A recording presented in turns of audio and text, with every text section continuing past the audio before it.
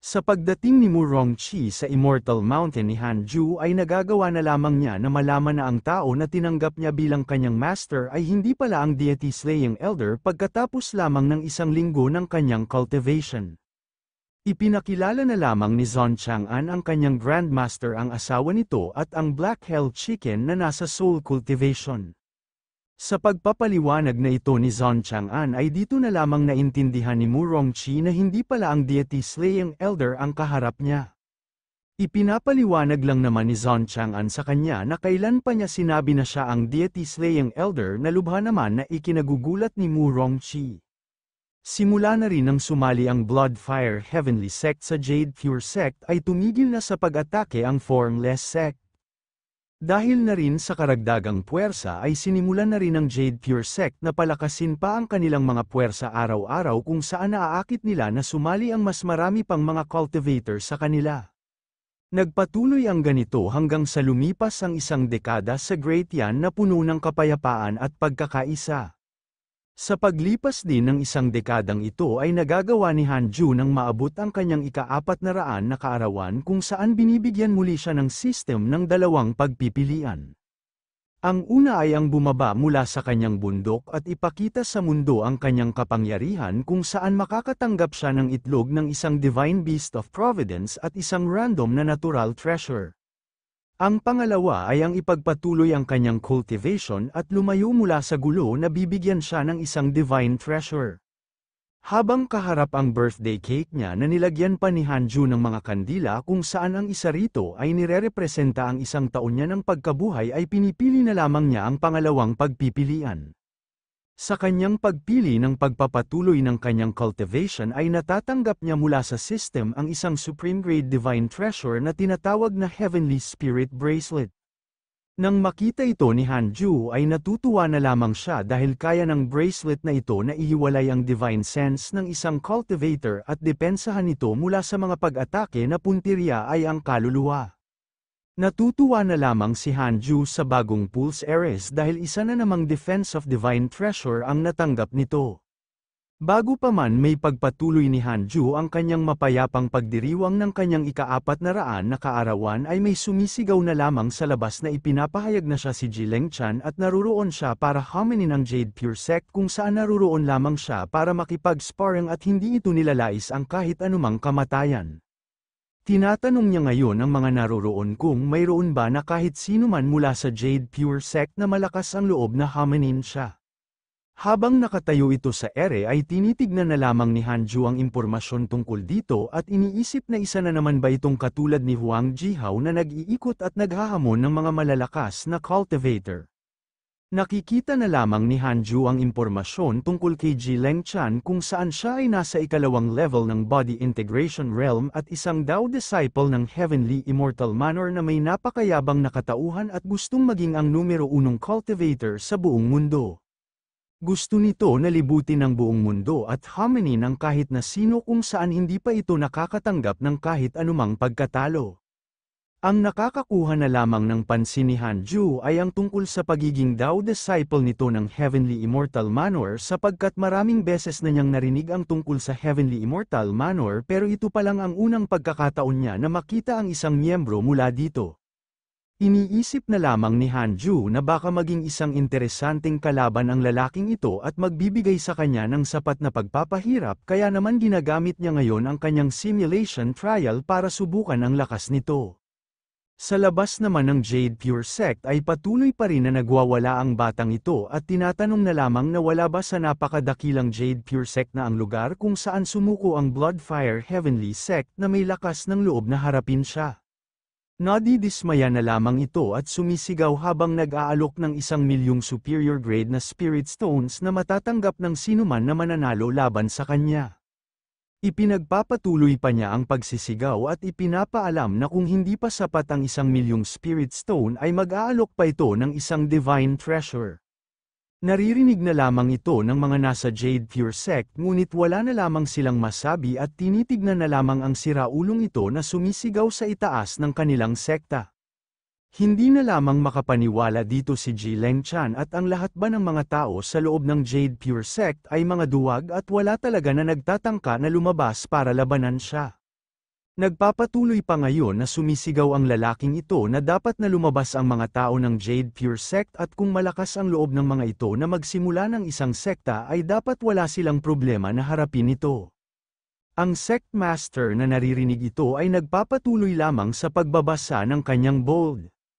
Nagugulo na lamang ang kanyang pagbabasa at lumilingon sa labas habang nagtataka kung bakit wala pang ginagawa si Elder Han at si Elder Xiao Yao dahil nasa ilalim pa rin siya ng kanyang seclusion para sa kanyang cultivation. Si Xiao Yao naman ay nasa labas lamang ang nagbibilang ng bulaklak habang hinihintay ang pagdating ni Hanju. Naghihintayan na lamang ang tatlong ito kaya naman nagagalit na lamang si Han Ju dahil napakatagal na ngunit bakit wala pang ginagawa ang sect master o kaya naman si Xiao Yao na kahit ano. Ang tangi lamang nilang gawin ay aliwin ang lalaking iyon at sino naman ang may pakialam ko matatalo sila laban sa lalaking ito. Sa sobrang inis ngayon ni Ji Lengchan sumisigaw na ito at binibigyan ang mga ito ng babala na mayroon lamang silang isang minuto para lumabas at kung walang lalabas sa loob ng isang minuto ay susunugin niya ang buong sekta nila. Inihahanda na lamang ni Diamal ang kanyang pag-atake at iniipon ang kanyang enerhiya sa kanang kamay habang ipinapaalam sa mga ito na seryoso siya ngunit bago pa man niya ito pakawalan tayo dumarating na lamang si Hanju na sinasabihan ito na napakagaling niya at ang Jade Pure Sect talaga namang mas mababa kung ikukumpara sa kanya kaya naman sumusuko na sila. Nang marinig ito ni Ji Lengchan ay nagtataka na lamang siya dahil sa lamang ang dumating para irepresenta ang Jade Pure Sect. Sa loob ng lalaking ito ay nagugulat na lamang sa dahil bakit hindi niya siya naramdaman na dumating at kailan pa siya nakarating. Sinasabi lang naman ni Hanju sa kanya na sa lamang ang pumunta roon kaya naman nagmamakaawa na si Hanju na tumigil ito dahil sumusuko na sila. Nagsimula lang naman na duruhin ng siraulong ito si Hanju at tinatanong kung sa tingin ba niya ay maaari siyang makatakas mula sa kanyang galit sa pamamagitan lamang ng pagsuko at pag-amin ng kanilang pagkatalo. Nagpapatuloy lang naman na purihin ni Hanju ang lalaking ito at sinasabihan na mula pa lang sa isang tingin niya ay napapagtanto na yan na isa siyang dakilang lalaki at isa na pinagpala ng kalangitan kaya naman walang dahilan para magalit siya ng ganito kaya naman inaalok na lamang niya si Ji Lengchan na maging magkaibigan sila. Habang hinahawakan ngayon ang espada niya ay sinasabi na lamang ni Jileng Chan na hahayaan niya ito dahil marunong siyang magsalita ngunit dahil naruroon na rin siya ay tuturuan niya ito ng eleksyon kaya naman ibigay niya raw ang kanyang pinakamalakas na atake. Nang marinig ito ni Hanju ay tinatanong na lamang niya ito kung seryoso ba siya. Nagsimula lang naman na magyabang ang tanggang ito at sinasabi na isa siya sa mga henyo na daw disciple mula sa Heavenly Immortal Manor kaya naman maliban na lamang sa iisang lalaking iyon ay wala na siyang kinakatakutan. Itinutok na lamang ni Hanju ang kanyang hintuturo sa kay Ji Lengchan at humihingi ng tawad dahil pagmumukha niya itong tanga ngayon. Lumilipas na lamang ang oras at tinatawag ngayon si Ji Lengchan ng kanyang master. Gumigising na lamang ito at nagtataka kung ano ang nangyayari hanggang sa nakikita na lamang niya ang kanyang master na nasa kanyang harapan. Nagtataka na lamang ito kung bakit siya naruroon kaya naman pinapagalitan na lamang siya ng lalaking ito na kung hindi dahil sa clone talisman na ibinigay niya sa kanya ay ang kanyang essence soul ay dapat na nabura ngayon. Tinitignan na lamang ni Ji Lengchan ang kanyang anyo at nagtataka kung bakit siya nasa estado ng kanyang essence soul. Bigla na lamang niyang naaalala at mukhang natalo sa gamit lamang ang isang atake. Ginamitan siya sa pagkakataon na iyon ni Hanju ng kanyang Heaven Earth Mystic Yellow World Piercing Sword Finger kung saan nabubura ang lahat ng mayroon siya. Iniisip na lamang ni Hanju pagkatapos niyang burahin ang babong yun na yun lamang ang makakaya ng isang henyo sa Heavenly Immortal Manor dahil hindi man lang niya magawang makaligtas ng tatlong segundo laban sa kanya sa simulation trial kaya naman sino ang nagbigay ng lakas ng loob sa gagong ito na mag-trash talk sa kanya pagkatapos ng kanyang mababait na mga salita. Pagkatapos ng talunin ni Hanju si Ji Lengchan ay lumalabas na lamang ang isang cultivator na pinapaghintay muna si Hanju. Tumitingin na lamang siya sa master ni Ji Lengchan habang hawak ang kanyang disipulo at sinasabihan sila na mukhang dumating ngayon ang matanda at mas malakas pagkatapos niyang talunin ang mas bata. Tinatanong niya ngayon ang master ni Ji Lengchan na nakita naman na siguro nito kung ano ang nangyari at ang kanyang disipulo ang nagpasimulan nito. Kahit na hindi niya gustong magdulot ng kahit anumang gulo ay hindi rin naman siya natatakot sa kahit ano lalo na ang makipaglaban. Nagpapakilala ngayon ang matandang kalbo na ito bilang ang master ni Leng Chan at sa tulong ng kanyang gintong dragon ay nagawa niyang protektahan ang kaluluwa ni Ji Leng Chan.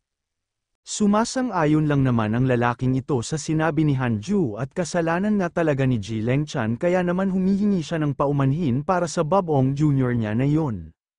Sinasabi na lamang ng matandang ito na kung hahayaan niya na umalis si Ji Leng Chan ay aalis na sila ngayon na mismo.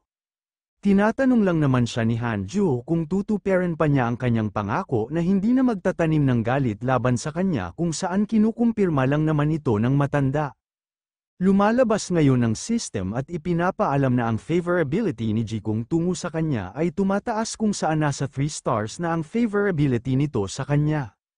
Nakikita ngayon ni Hanju na ang matandang ito ay nasa ikapitong level ng Tribulation Transcendence at isa rin sa mga labindalawa na Taoist ng Heavenly Immortal Manor. Dahil sa hindi niya pinatay si Ji Lengchan ay maganda ngayon ang tingin nito sa kanya. Nang makita ni Hanju na ang matandang lalaking ito na nasa kanyang harapan ay nasa ikapitong level ng Tribulation Transcendence ay lubos na lamang siyang kinakabahan at pinagpapawisan sa kanyang loob. Tinatanong na lamang ni Jikung ang lalaking ito kung ano ang kanyang pangalan. Nais niyang malaman kung sino ang taong ito na napakahirap na mahanap lalo na ang isang katulad niya na may magandang moralidad at napakalakas at maganda na rin ang itsura. Nagpapakilala lang naman si Hanju bilang si Guan Yu. Doon na nga nagtatapos ang kwento ni Jikung kay Ji Leng Chan. Bumababa na lamang ang loob ni Ji Leng Chan dahil hindi siya makapaniwala sa nangyari at hindi man lang niya nagawang matanggap ang isa sa mga atake ni Guan Yu. Ipinapaliwanag lang naman sa kanya ng kanyang master na kung hindi talaga niya sinadya na hayaan ang kanyang kaluluwa na mabuhay ay pati siya ay hindi na magagawang iligtas si Ji Leng Chan. Nagugulat na lamang si Ji Leng Chan sa sinabi ng kanyang master dahil ito ay nasa Tribulation Transcendence. Kahit na ganito pa man ay pinapaliwanag lamang ni Jikung sa kanya na ang kaharap niya ngayon na isa lamang clone at wala siya sa kanyang kumpletong anyo ngunit ang sword technique na ginamit ni Gu Anyu o Hanju sa kanya ay napakalakas at kahit na ang tunay na katawan ng kanyang Golden Dragon ay hindi magagawa ang makaligtas mula rito kung hindi lamang kay Hanju na nagpipigil ng kanyang tunay na lakas. Tinatanong ngayon ni Jikung ang kanyang disipulo kung ano ang natutunan niya mula sa insidenteng ito. Sinasabi lang naman ni Ji Lengchan na hindi niya akala na expert na katulad ng lalaking yun sa labas ng kanilang Heavenly Immortal Manor lalo na ang isang katulad niya na nagmumula sa isang maliit na sekta. Sa sinabing ito ni Ji Lengchan ay natutuwa na lamang ang kanyang master at mukhang natututunan ito ang isang importanteng leksyon. Bago pa man tuluyang matuwa ang kanyang master ay may naiisip na lang muli si Ji Leng Chan muli na kailangan niya ulit na haminin ang mas maraming mga sekta na ganito sa susunod na pagkakataon para mas maintindihan pa niya ang tunay na kahulugan ng kahit na gaano ka pa man kagaling ay mayroon pa rin na mas magaling sa'yo. Nang marinig ito ni Ji Kung ay kumukulo na lamang ang dugo nito at pinapagalitan ang kanyang disipulo na pinapabalik siya sa lalong madaling panahon sa Heavenly Immortal Manor. Hindi na ito maaaring lumabas pa at pinagbabawalan na umalis ng sekta sa loob ng isang siglo. Hindi na lamang ito matanggap ni Ji Leng Chan dahil hindi pa ganoon katagal simula nang pinayagan ito na lumabas. Nagpapatuloy pa ngayon na sigawan ni Jiko ang kanyang disipulo at sinasabihan na sino ba sa tingin niya ang nahihirapan na nagpapakita para lamang iligtas siya. Sa loob naman secret pavilion ng Jade Pure Sect ay nananatili pa ring nakakulong si Muzu. Simula nang pinagtakselan siya ni Hanju ay nanatili itong nakakulong doon. Patuloy pa rin siyang binisita ni Hanju ng ilang beses at hindi naman siya tinrato ng masama ng sekta kaya naman nagagawa niya ngayon na pataasin ang kanyang cultivation sa ikawalong level ng Golden Core Realm. Habang nasa loob ng silid ay nagpapalabas na lamang ng umaapaw na enerhiya si Mozu at napapasabi na lamang sa kanyang sarili na kailangan niyang pumatay para makalabas doon at lisanin ang lugar na iyon para ipaghiganti ang kanyang pamilya. Habang nangyayari ito'y nagbabagang ngayon ang kulay ng kanyang kanang mata at tinatanong siya kung ano pa ba ang kanyang hinihintay dahil naghihintay na rin para sa kanyang tulong ang kanyang kapatid. Sinusubukan naman itong kontrahin ni Muzu at tinatanong kung sino ang nilalang na ito dahil hindi niya gusto na sinasabihan siya nito. Pinapatigil niya ang pagsasalita niya dahil siya ang magdedesisyon kung ano ang kailangan niyong gawin at hindi siya. Matapos na sabihin ito ni Muzu ay nagwawala na lamang ang kanyang enerhiya at lumalabas sa lahat ng direksyon. Kaparusahan nito ng kanyang pagsuway at pagkatapos nito ay papasukan na lamang siya ng dugo. Habang namimilipit sa sakit sa sahig ay alam niya sa kanyang sarili na ang kanyang ginagamit para sa kanyang cultivation ay ang cultivation technique ng kanyang pamilya na minanapan nila kaya naman bakit nararamdaman ang demonic chi sa loob ng kanyang katawan. Napapaisip na naman siya kung isa ba itong inner demon niya pero hindi naman dahil mula sa kanyang naririnig ay tinatawag ng kumakausap sa kanya ang sarili nito bilang ang pinuno kaya naman napapaisip na lamang si Muzu na baka isang demonic human sect ang Mu family. Mukhang gusto ng babaeng kumakausap sa kanya na maging tagapagmana nito kaya naman napapaisip na lamang si Muzu kung kinakailangan ba ulit niya simulan mula sa pinakauna ang kanyang cultivation ngunit kung gagawin niya ito ay hindi na lamang niya alam kung gaano katagal muli ang kakailangan niya para maabot ang kanyang kasalukuyang cultivation level.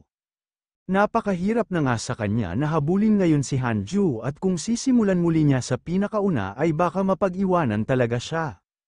Inaalala na lamang niya na noon ay nauna pa siya na maabot ang Foundation Establishment Realm ngunit ngayon ay hindi na niya makita pa kung anong level na ang lalaking iyon. Naiiyak na lamang siya at napapaisip kung may natitira pa ba siyang pag-asa sa kanya.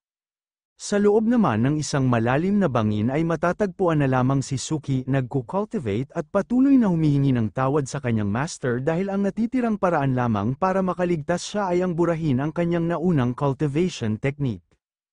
Kinakailangan ulit niya na magsimula at gamitin ang demonic cultivation technique na itinuro sa kanya ng Devil Master. Habang inuobserbahan si Suki ay namamangha na lamang ang Devil Master dahil ang cultivation level nito ay mabilis na tumataas matapos napalitan nito ang kanyang cultivation method.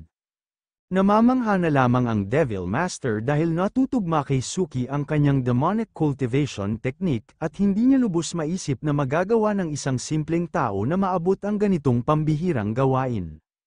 Habang inoobserbahan si Suki ay naaalala na lamang ng Devil Master na pakiramdam nito ay parang nakakaramdam siya ng pagkahirap sa kanyang cultivation kamakailan lamang na sobrang kinaiinis niya. Patuloy siyang iniistorbo ng kanyang mga inner demon nagiging dahilan para hindi siya makapag-cultivate ng maayos. Tumatayo na lamang muna ang Devil Master mula roon at sinasabihan si Suki na maaari siyang manatili doon at ipagpatuloy ang kanyang cultivation at sa tulong ng kanyang Arya na inilagay ay walang sinuman na magagawang istorbohin siya. Napapatanong na lamang si Suki dito at nais na malaman kung saan ito magpupunta. Habang naglalakad paalis ay inis na inis na lamang ang Devil Master dahil sa kanyang mga nararanasan kailan lamang at sinasabi kay Suki na lalabas muna ito para durog at mangwasak ng ilang mga sekta para pakalmeyin ang kanyang sarili. Nab ay bilib na lamang si Suki dito at kagaya ng kanyang inaasahan sa isang Demon Lord ay maaari lamang itong lumabas para mandurog ng mga sekta ayon sa kanyang kagustuhan. Pagkaalis na lamang ng Devil Master ay napapaisip na lamang si Suki kung kukunin ba niya ang pagkakataon na ito para tumakas mula roon ngunit inaalala na lamang niya na sa tagay na lakas ng Demon Lord ay wala na siyang iba pang lugar na maaari pang takbuhan. Nais na lamang niya na naruroon sana ang kanyang master para gabayan siya. Pagkaalala niya sa kanyang master ay napapaisip na lamang siya at dahil hindi pa gumagawa ng kahit anumang aksyon ang kanyang master ay baka isa na iyong senyales at hinahayaan siya na kunin ang oportunidad na iyon para lumakas. Maliban pa rito ay napakatugma sa kanya ng demonic cultivation technique na ibinigay sa kanya ng Devil Master kaya naman baka plano talaga ito ng kanyang master at hinahayaan lamang siya na magkaroon ng mabilis na paglago at paglakas pagdating sa kanyang cultivation. Pagkaisip pa lamang isuki dito ay mas ginaganahan na lamang siya na mag-cultivate sa demonic technique na ibinigay sa kanya at nagpapasalamat na lamang sa kanyang master dahil naiintindihan na niya ang tunay na magandang intensyon nito para sa kanya. Si Hanju naman ay hindi alam kung ano ang nangyayari sa kanyang disipulo at wala talagang pakialam dahil nagdadala lang naman ito ng kamalasan sa lahat ng puntahan nito at nagagawang makaligtas kahit ano pa man ang mangyaring delubyo sa kanyang kapaligiran. Lumalabas na lamang ang notification sa kanya ng system na ipinapaalam sa kanya na nasa agap nito ang kasalukuyang pinakamalakas na expert sa kanyang paligid na ang Enlightened Old Monster na ang sect master ng Formless Sect na nasa ikapitong level ng Body Integration Realm, hindi na lamang siya makapaniwala na mukhang dumating ang siraulong ito para bisitahin mismo siya at ano kaya ang kailangan ng matandang ito mula sa kanya.